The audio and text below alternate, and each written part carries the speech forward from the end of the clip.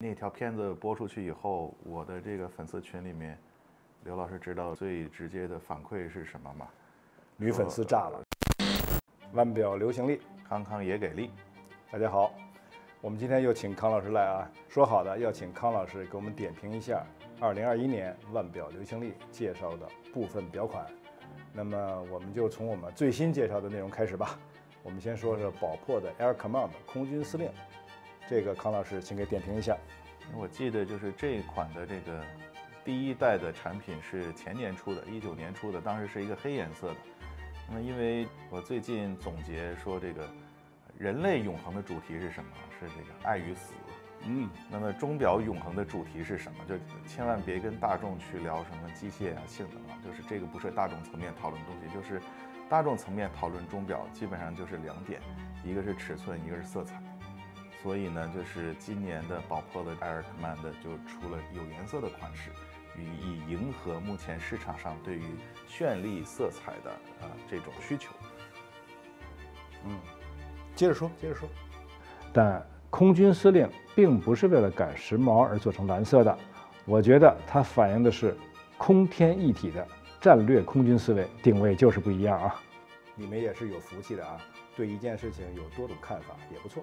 然后它是源自这个美国的空军用的一个专业的呃非凡计时码表，呃，然后结合了目前这个最前沿的制表的材质还有设计，所以呢就是一个呃非常古朴又能在细节中看到这个前沿现代感的这么一个非凡计时码表。宝珀这空军司令呢，就是表面上看是一个复刻，但实际上呢，它除了外形复刻以外呢。它的机芯已经全面的提升，比如说它用了 F 三八八 B 机芯，这里边配备了高振频，配备了硅优丝，当然还是这个集成自动上弦的这个计时机芯啊，业界很有名的。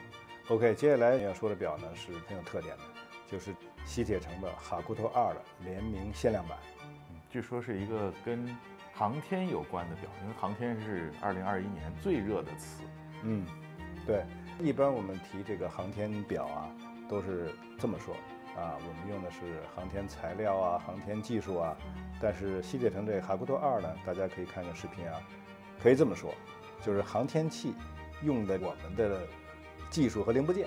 嗯，所以呢，他用这个呢做了两款表，一个是粤海，一个是粤象，然后外形我告诉你，看起来都像超霸。嗯，对。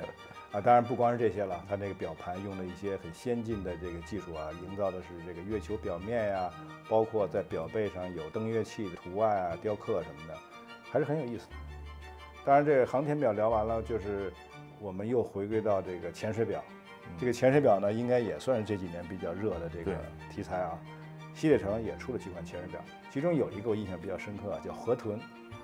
这河豚这东西呢，并听起来并不是很雄壮的样子。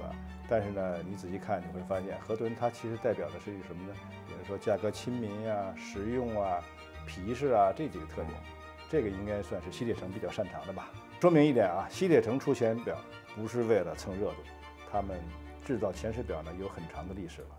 OK，说了半天潜水，我们说回到航天啊，这个我跟康老师呢合作做了一款很精彩的视频，据说在网上传的这个现象级的现象级的这个播放量啊，这就是。随着神舟十三号发射升空，飞亚达出的一款中国航天系列的新款腕表，而且现在神舟十三号还在执行任务，还属于神舟十三号的任务期。对这个呢，我觉得作为这个中国人啊，就是对这个中国航天要具有寄予那么大的希望啊，这款表可以说代表了我们很多国人的心声，所以它出的还是很是时候的。西铁城的腕表，我们今天介绍了三次啊。比如说，从这个深海悍将啊，还有其他的光动能的这个潜水表啊，最后介绍到了八系机械表，它是西铁城的高端防磁的运动机械表，它不是那种五六万元价位的机械表啊，所以大家不要把这个八系跟那个价位去比。但是在这个它所在这个万八千这个价位里呢，它还是有很强的竞争性的。比如说它的机芯，它的防磁能力啊，还有动储啊，各方面都不亚于伊塔的二八二四，二八二四。它是很坚固、很耐用的瑞士机芯，而且故障率非常低。那么八系呢，也是这个定位的机械表。好的，咱们说点有温度的啊。浪琴的名将月相女表，嗯，这个我记得请康老师也给我们就是加盟介绍了一下。然后那那那条片子播出去以后，我的这个粉丝群里面，刘老师知道这个最直接的反馈是什么吗？女粉丝炸了，说一个女表，两个大爷 在那儿滔滔不绝，怎么得有一个美女嘛？然后就就是两两个两个老头在那儿把这个表给说完了。对我们这么做呢，是因为这个原因啊。你看浪琴的女表是很优雅的，对吧？然后呢，为了形成这个鲜明的反差，所以找了这个两个大叔，嗯来介绍这些东西。不过说实话，我觉得我们通常讲都是什么机械呀、复杂功能啊什么的，但是呢，市场上表明呢，像浪琴，不管是男表女表啊，都是非常受欢迎，都有很大的这个群众基础的。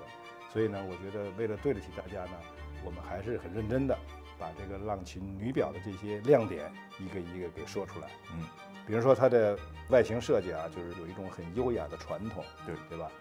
呃，还有点评的那个月相表盘啦，都是市场上很认的。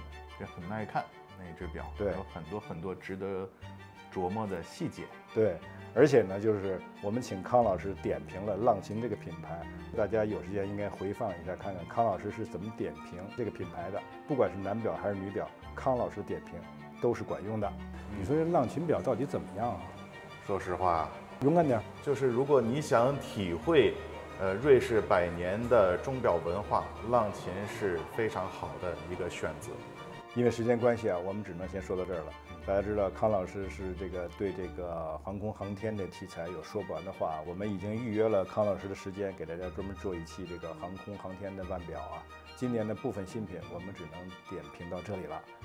欢迎大家一键三连，留言互动，订阅我们的频道，也感谢康老师的到来。谢谢，再见。